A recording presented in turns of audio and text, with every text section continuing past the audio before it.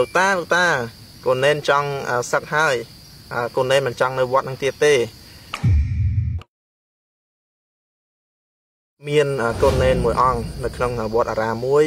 ដែលគុណតែងតែព្យាយាមឧស្សាហ៍ក្នុងការរៀនសូត្រក្នុងការវឹកហាត់នៅព្រះធម៌ផ្សេងផ្សេងដែលលោកបានរៀនសូត្រពីបដិជគុណនៅ ក្នុងវត្តអារាមហ្នឹងហើយជានិច្ចកាល កូនណែនពិតជាមានការខំប្រឹងប្រែងឧស្សាហ៍ព្យាយាមមែនតើបាទមានពេលមួយក៏មានបរិសម្នាក់គាត់បានយកចង្ហាន់មកហើយក៏បានសួរកូនណែនថាកូនណែនថាតើបដិជគុណគ្រូគង់នៅឯណាដែរចឹងកូនណែនក៏ឆ្លើយតបថានោះកំពុងតែគង់នៅវិហារហើយមានពុទ្ធបរិស័ទច្រើនណាស់ចឹងប្រហែលជាញោមត្រូវរងចាំយូរបន្តិចហើយហើយលោកពូម្នាក់នោះក៏បានឆ្លើយតបវិញថាអត់អីទេកណាអាចរងចាំបាន ព្រោះកណាមិនចង់ប្រកេនចង្ហាន់ជាមួយនឹងកូនណែនតូចតាចឬក៏កូនណែនថ្មីថ្មីនោះទេព្រោះខ្លាចចង្ហាន់ហ្នឹងមិនបានវេទៅដល់បុព្វការីជនរបស់កណាចឹងក៏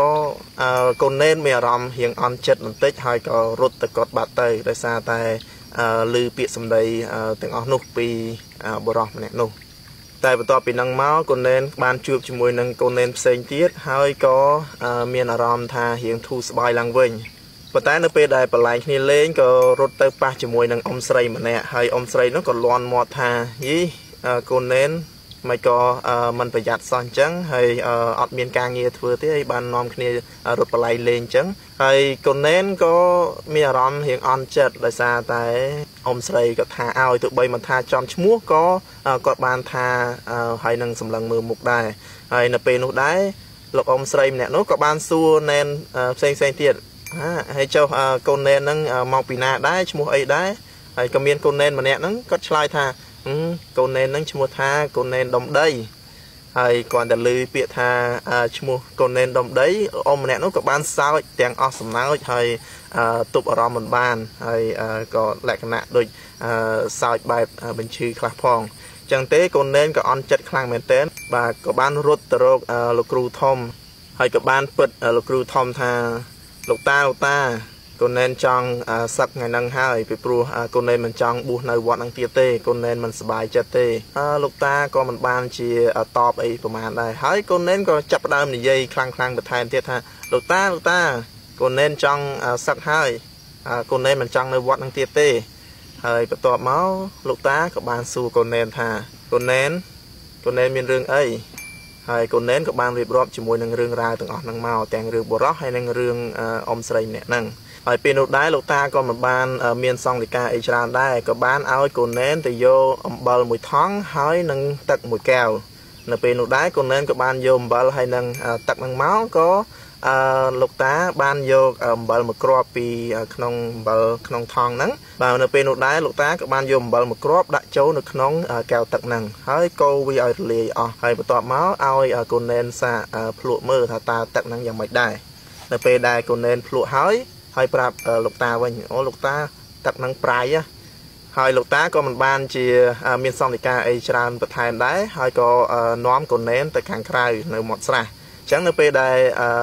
លោកតាហើយនឹងកូនណែនបានទៅដល់ស្រះហើយក៏ប្រាប់ឲ្យកូនណែនចាក់អំបិលដែលបានយកមកហ្នឹងទាំងថងហ្នឹងចូលទៅក្នុងស្រះហើយឲ្យកូនណែនហ្នឹងភ្លក់ទឹកនៅក្នុងស្រះហ្នឹងឯងនៅពេលដែលកូនណែនភ្លក់ទឹកក្នុងស្រះហើយក៏បានពោលថាលោកតា ទឹកនេះអត់ប្រៃសោះ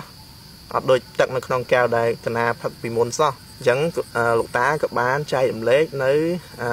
មេរៀនជីវិតមួយសម្រាប់ឲ្យកូនណែនស្វែងយល់ កូនណែនដឹងទេ នៅពេលដែលយើងធ្វើចិត្តឲ្យតូចចង្អៀតសំបីតែអំបិលមួយគ្រាប់ក៏វាធ្វើឲ្យចិត្តរបស់យើងនឹងវីវក់វល់វល់បានដែរប៉ុន្តែប្រសិនបើយើងបើកចិត្តឲ្យទូលំទូលាយធ្វើចិត្តឲ្យជ្រះថ្លាទោះបីជាអំបិលមួយថង់ពីរថង់បីថង់ក៏មិនអាចធ្វើឲ្យទឹកស្រះទាំងមូលប្រៃបានដែរ ចឹងទេកូននេនត្រូវតែរៀនសូត្រជាមួយនឹងអារម្មណ៍មួយនេះបើសិនជាយើងយករឿងតូចតាចយកមកដាក់ក្នុងចិត្តធ្វើឲ្យចិត្តរបស់យើងច្បុកច្បល់ធ្វើឲ្យចិត្តរបស់យើងក្រេវក្រោតធ្វើឲ្យចិត្តរបស់យើងស្មុគស្មាញអញ្ចឹងទេ គឺយើងមិនអាចគ្រប់គ្រងចិត្តរបស់យើងបានល្អទេ ប៉ុន្តែបើសិនបើយើង ធ្វើចិត្តយើងដូចជាទឹកស្រះអញ្ចឹងទោះបីជាមានរឿងរ៉ាវបញ្ហាអីយ៉ាងណាក៏ដោយក៏យើងនៅតែអាចគ្រប់គ្រងចិត្តយើងបានដែរពីព្រោះ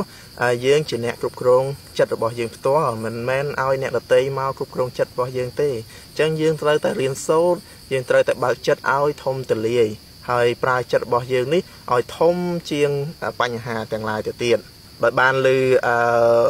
សង្ឃលេខារបស់លោកតាបែបនេះហើយកូនណែនក៏មានអារម្មណ៍ទឹកចិត្តរៀងស្ងប់ជាងមុនឡើងវិញហើយក៏បានរៀនសូត្រពីមេរៀនជីវិតមួយនេះសម្រាប់ប្រើប្រាស់នៅថ្ងៃខាងមុខផងដែរអញ្ចឹងនេះគឺជារឿងខ្លីមួយតទៅជាមួយនឹងកូនណែនដុំដីហើយជាការឆ្លុះបញ្ចាំងជាមួយនឹងឆាកជីវិតយើងជាទូទៅដែររឿងគ្រប់យ៉ាងវាតែងតែមាន បាទមានទាំងរឿងតូចរឿងធំរឿងនៅក្នុងផ្ទះរឿងក្រៅផ្ទះសិតតែជារឿងទាំងអស់ ប៉ុន្តែបើសិនជាយើងធ្វើចិត្តឲ្យតូចចង្អៀតគឺរឿងទាំងអស់នោះនឹងកកោកកាយជាមួយនឹងចិត្តរបស់យើងធ្វើឲ្យយើងមិនស្ងប់ប្រមាណទេប៉ុន្តែបើសិនជាយើងធ្វើចិត្តឲ្យទលាយឲ្យជ្រះថ្លាឲ្យធំជាងបញ្ហាទាំងអស់នោះនោះយើងនឹងអាចធ្វើការគ្រប់គ្រងចិត្តរបស់យើងបានល្អហើយឧបសគ្គឬក៏បញ្ហាខាងក្រៅมันអាចជះឥទ្ធិពលជាមួយនឹងជីវិតរបស់យើងបានទេ